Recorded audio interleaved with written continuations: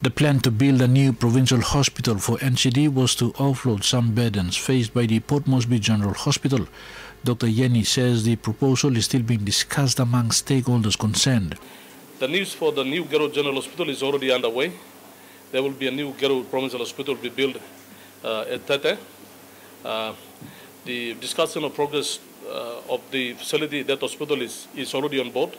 My management has taken on board to form a steering committee and, and to work with the, you know, the relevant, you know, central agencies to make sure how do we formalize the progress of the discussion for this new hospital that's going to come.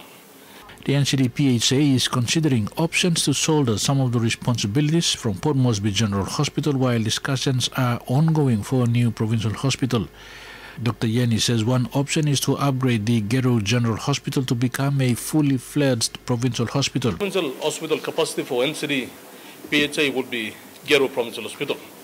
Uh, we have national service standards uh, that looks at the level of hospital, a lower level facility up to a provincial hospital. So Gerehu is by way of the national service standard is still a default level for hospital. It's not a fully fledged provincial hospital.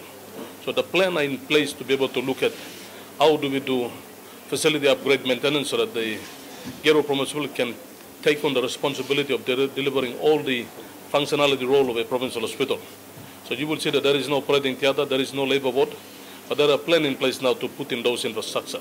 The Division of Curative Health Services will carry out a service plan that looks at facility gaps, manpower and other issues lacking at the Gerehu General Hospital.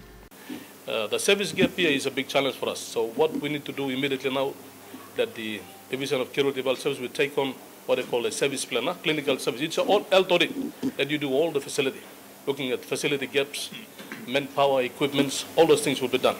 Dr. Yennie was sworn into office for a four-year term yesterday. Mark Kayok NBC National News, Port Moresby.